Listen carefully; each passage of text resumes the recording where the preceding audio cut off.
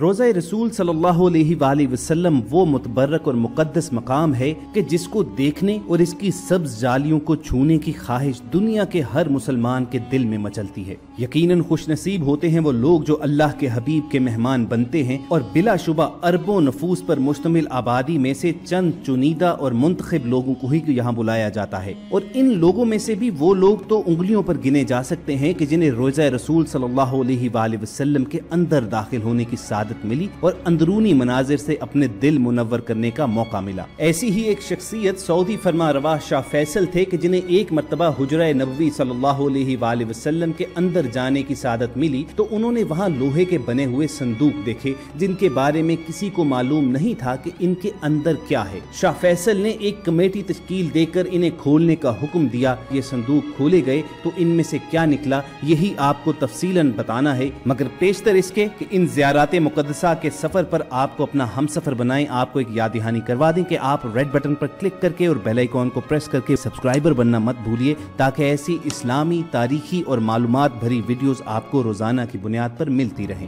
روزہ رسول صلی اللہ علیہ وآلہ وسلم کی حفاظت اور اس کی اندرونی دیکھ بھال کے لیے سعودی حکومت کی جانب سے ہمیشہ خصوصی انتظامات کیے جاتے ہیں اور چند مخصوص افراد کے علاوہ روزہ رسول کے اندر کسی کو بھی جانے کی اجازت نہیں ہوتی ہے، حتیٰ کہ سعودی شاہی خاندان کے افراد بھی بنا اجازت کے روزہ رسول صلی اللہ علیہ وآلہ وسلم کے اندر جانے کی جرت نہیں کر سکتے۔ حجرہ نبوی روزہ رسول صلی اللہ علیہ وآلہ وسلم کے اندرونی حالات و مناظر اور وہاں موجود طبقات ہمیشہ سے مسلمانوں کے لیے باعث دلچسپی رہے ہیں۔ خواتین حضرات، نبی آخر الزما حضرت محمد صلی اللہ علیہ وآلہ وسلم کے روزہ مبارک کے اندر کیا ہے؟ اس کے بارے میں کئی کہانیاں اور داستانیں مشہور ہیں۔ انٹرنیٹ پر آپ کو جا بجا ایسی بے شمار تصویریں ملیں گی کہ جن کے بارے میں دعویٰ کیا جاتا ہے کہ یہ روزہ رسول صلی اللہ علیہ وآلہ وسلم کے اندرونی مناظر ہیں۔ انواع و اقسام کی قبروں کو رسول اللہ صلی اللہ علیہ وآلہ وسلم کی مرکت قرار دے کر شیئر کیا جاتا ہے۔ کبھی کبھار کسی آدمی کے بارے میں یہ مشہور کر دیا جاتا جاتا ہے کہ یہ روزہ رسول صلی اللہ علیہ وآلہ وسلم کے خادم ہیں اور اندر جانے کی اجازت صرف انہیں ہی ہے۔ سچ یہی ہے کہ ایسے تمام دعوے باطل ہیں۔ حقیقت کیا ہے اور روزہ شریف کے اندر کیا ہے اور کیا واقعتاً کسی کو روزہ رسول صلی اللہ علیہ وآلہ وسلم میں مستقل اندر آنے جانے کی سہولت میسر ہے؟ ان تمام باتوں کے جوابات سعودی حکومت نے حالیہ ہی ایک ڈاکیومنٹری میں دیے ہیں، جس سے تمام خرافات کا خاتمہ ہوتا ہے۔ پہلی مرتبہ روزہ رسول صلی اللہ علیہ وآلہ وسلم کے اندرونی مناظر الفاظ میں بیان کرتے ہوئے شیخ آئز بن عمر نے سات ایسے حقائق بیان کیے کہ جو لوگوں کے علم میں نہیں ہیں۔ شیخ آئز بتاتے ہیں کہ سعودی فرما روا شاہ فیصل بھی وہ شخصیت ہیں کہ جنہیں روزہ رسول صلی اللہ علیہ وآلہ وسلم کے اندر جانے کی سعادت حاصل ہو چکی ہے۔ شیخ آئز بتاتے ہیں کہ وہ جب شاہ فیصل کے ہمراہ روزہ رسول صلی اللہ علیہ وآلہ وسلم کے اندر داخل ہوئے تو وہاں کا منظر ہی کچھ اور تھا۔ انہوں نے دیکھا کہ روزہ مبارک کے اندر لوہے سے بنے ہوئے بڑے صندوق موجود ہیں اور وہ تمام کے تمام مکفل یعنی ان پر لاک لگے ہوئے تھے۔ یوٹیوب پر موجود اپنے ایک انٹرویو میں شیخ آئز بتاتے ہیں کہ ہم نہیں جانتے تھے کہ ان صندوقوں میں کیا ہے۔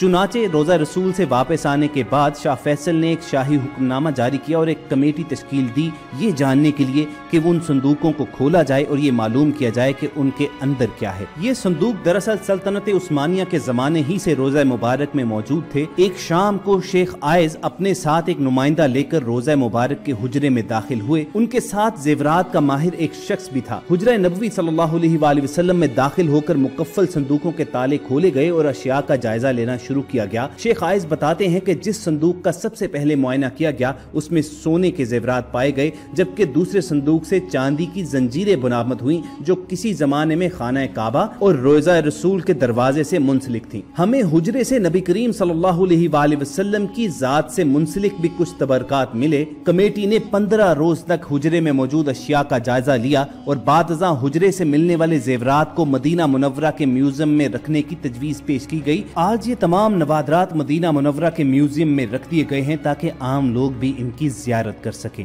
ہرمین شریفین کے امور کے محقق محی الدین الہاشمی لکھتے ہیں کہ حجرے میں داخل ہونے کا واحد راستہ سبز رنگ کا مشرقی دروازہ ہے جو چھ سو برس سے زیادہ پرانا ہے۔ داخل ہونے کے بعد ہی سامنے سفید رنگ کا سنگ مرمر ہے، جس کو شاہ فیصل شہید کے دور میں بنایا گیا۔ اس کے بعد سیدہ فاطمہ رضی اللہ تعالیٰ عنہ بادشاہ کا تخت ہے اور اس کے عقب میں ان کی محراب ہے۔ تخت وہ مقام ہے جہاں سلاطین اور حکمرانوں کی جانب سے پیش کیے جانے والے قیمتی تحائف کو رکھا جاتا تھا۔ اس تخت میں موجود تمام اشیاء کو ٹرین کے ذریعے استنبول کے توپ کاپی محل پہنچا دیا گیا تھا، جہاں وہ آج تک محفوظ ہیں اور لاکھوں کروڑوں لوگ آج بھی تبرکات روزہ رسول صلی اللہ علیہ وآلہ وسلم کی زیارت کرتے ہیں۔